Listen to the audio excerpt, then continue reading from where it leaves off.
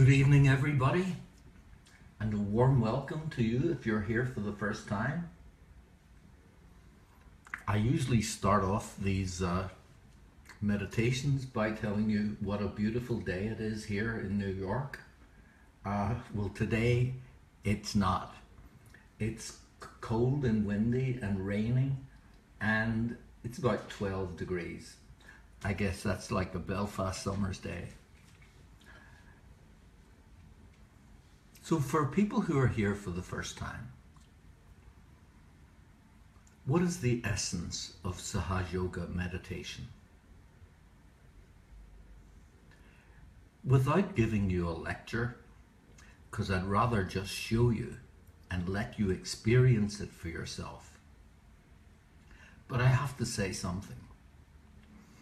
In every human being, in the sacrum bone, the large triangular bone at the base of the spine, there's an energy, a feminine energy. And she's known about in many cultures of the world. She has different names in different cultures. I'm going to call her Kundalini, which means coiled. She's coiled up in the sacrum bone. And it's an evolutionary step for her to be awakened. You've probably heard in all the great religions of the world, they say the kingdom of God is within. And awakening this Kundalini energy is a direct way for you to experience the truth of that yourself.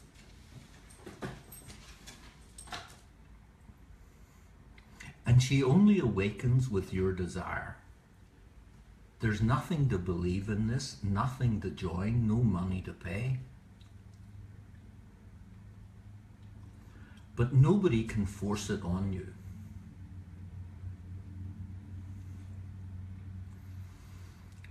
You're looking at a photograph of Sri Mataji Nirmala Devi. She's one of the greatest personalities in the history of spirituality. In the past, if you could find a someone to awaken your Kundalini, it would be one on one, and it could easily take 30 or 40 years of intense privation and discipline. And even then, it might not happen. Sri Mataji made a unique contribution. She worked out a way of giving this awakening en masse. And I've personally seen her do it in a football stadium in India with more than 60,000 people, at the Royal Albert Hall in London, where there were more than 4,000 people every year for a number of years, and in New York at the New York Town Hall and the Society for Ethical Culture on East 64th Street. So let's go straight in and try this. Take it as an experiment. Sit with your feet slightly apart and your back straight, and the palms of your hands open on your lap. So the palms are pointing upwards.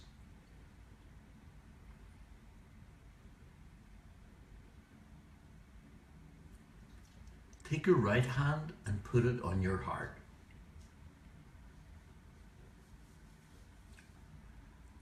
And ask yourself the question about three times. Say, Am I the Spirit?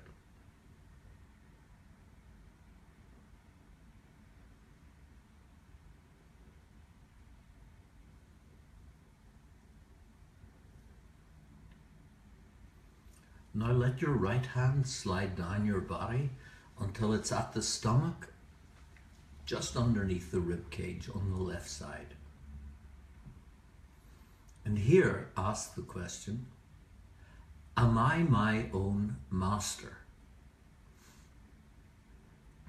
Or if you like, guru or teacher?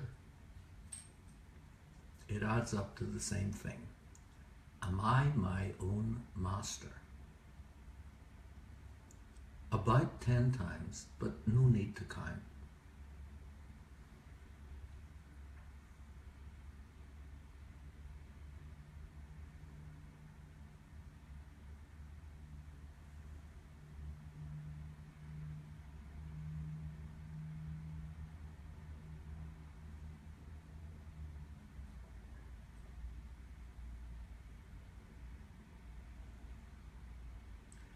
Then let your right hand drop down to the bottom of your torso on the left side. And hold this quite firmly with your right hand. And say about six times,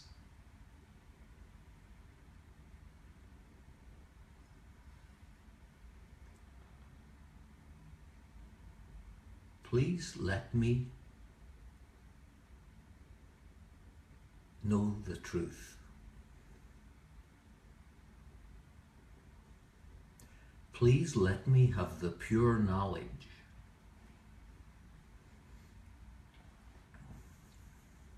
So here's a hypothesis.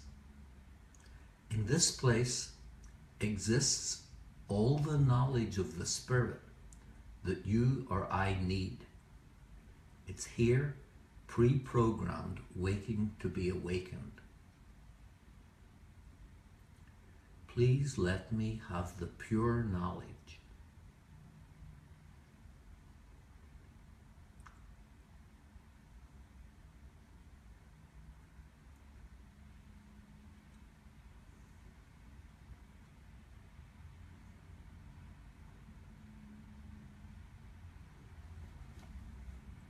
Then let your hand come up again to the top of your stomach on the left side, where it was before.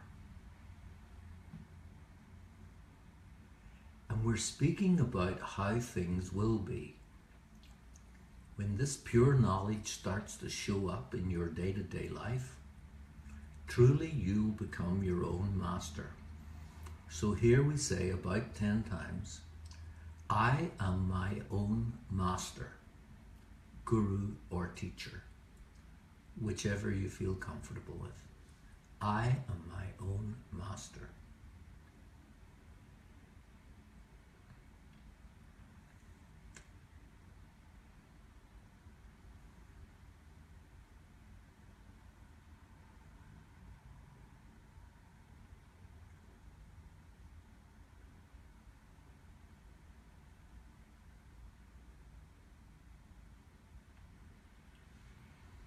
Bring your right hand onto your heart.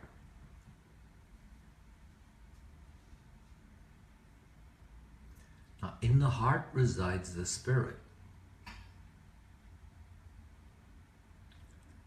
And with this Kundalini awakening, you'll discover, if you don't know already, that we are not just this body, this blood and bones, this mind, this intelligence if you strip all of that away, truly we are the Spirit.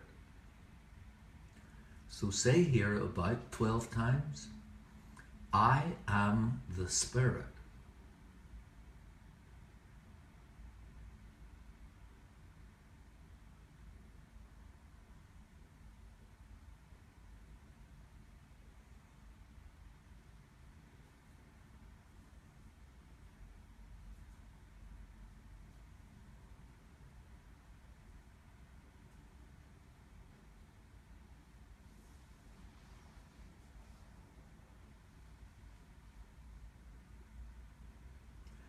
Now take your right hand and put it where the neck joins the shoulder on the left side.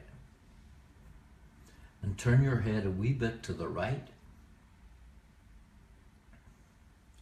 Now this is a center that causes all sorts of trouble in the West, and especially in my experience in Ireland. For we feel guilty. But with the awakening of this energy as we become the spirit, the things we feel guilty about will take a back seat. So just say about 16 times, but don't count. I am not guilty. I am not guilty. I am not guilty.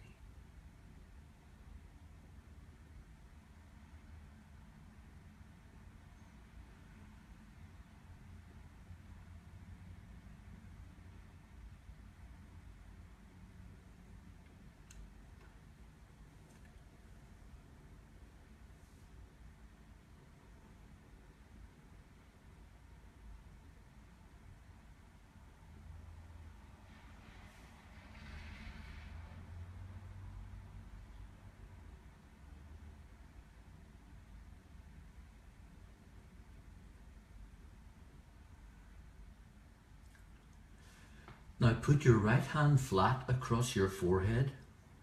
Let your head fall forward a wee bit into the palm of your hand.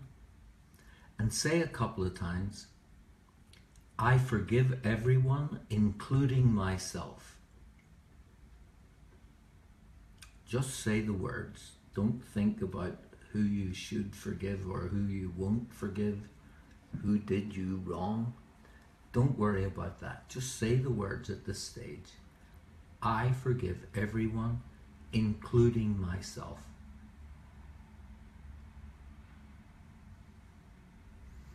This center, known as the Agnya Chakra, only opens when we forgive. And you will find forgiveness to be an amazingly powerful thing. So take your right hand and put it on the back of your head and let your head fall back into the palm. And as we've forgiven, so we ask for forgiveness. We say, If I've made any mistakes against my spirit, please forgive me.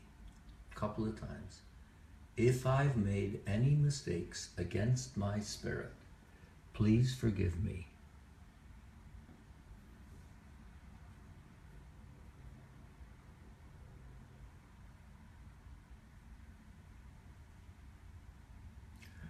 And then stretch out your right hand so the palm is stretched and the fingers are pointing upwards.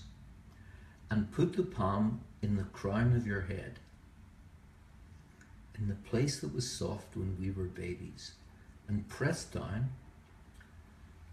Rotate your scalp in a clockwise direction. And if you're new to this, say Please let me have my self realization seven times. And if you've been practicing for a while, you can say, Please establish my self realization about seven times.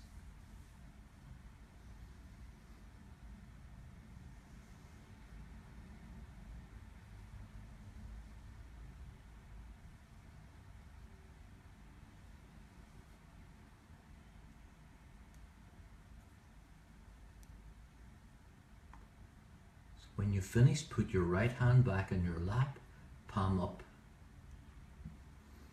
Keep your focus at the top of your head where your hand was for a few minutes, and I'm just going to play some music that will be nice to meditate with.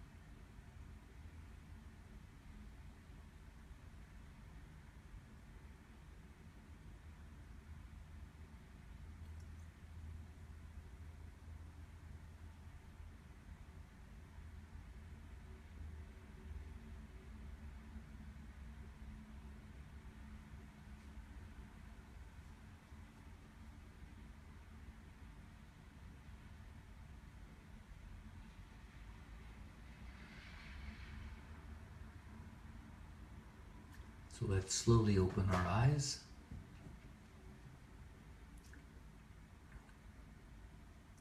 So the word Sahaj means two things in Sanskrit language. It means inborn, born within us. And it also means spontaneous, because this energy rises from the sacrum bone to the top of our head in a fraction of a second.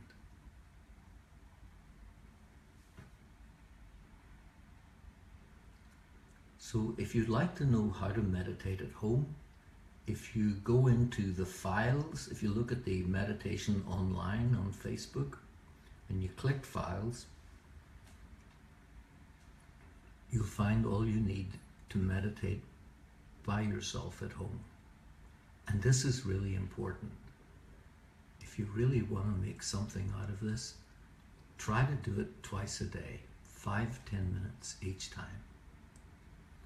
Often requires quite a lot of self-discipline, but if you just build it into your schedule, you get up, you go to the bathroom, you make a cup of tea, and then you meditate. You come home from work, and either you meditate there or just before you go to bed, whatever works for you.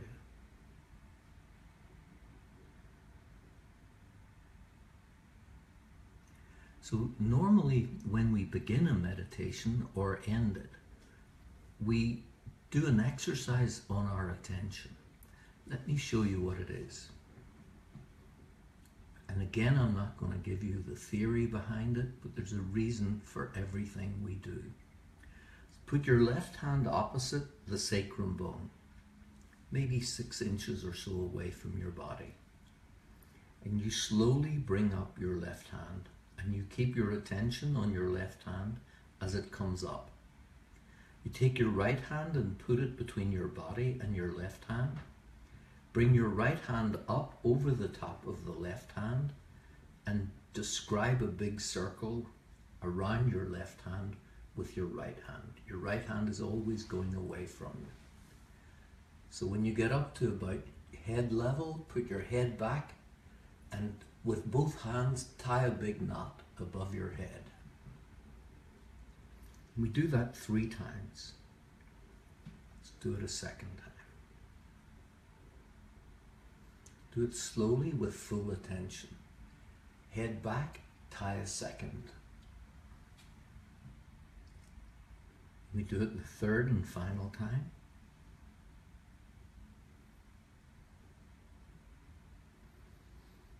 Head back, and this time we tie three. One, two, three. For the three channels of subtle energy in the spine. And then we give ourselves a protection.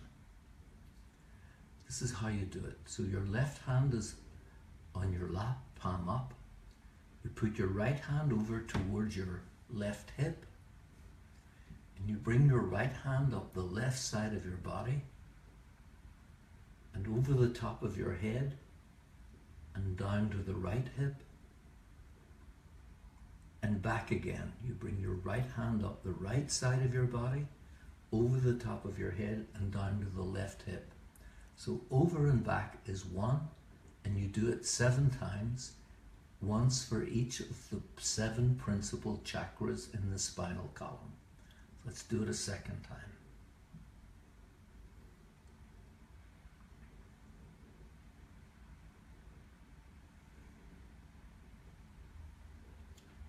Third time.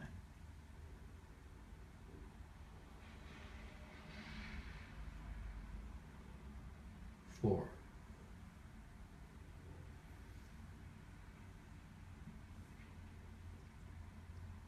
Five.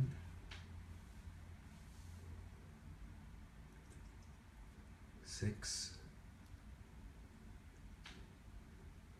And seven.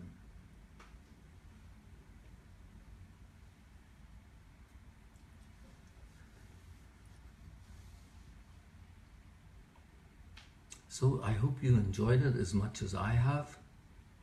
I had the great pleasure today of seeing my grandson who lives in just outside London, George Wherry. I hope he enjoyed it. And my prospective daughter in law, Linda, who's from Naas in County Kildare, she's sitting beside me. I see Catriona from Cork, and Pallavi from New Jersey, and Louisa from Florida, and William from Colombia in South America. So I hope you enjoyed it. Let me know if you have any questions, don't hesitate to ask, and I'll look forward to meditating with you again this time next week. All the best.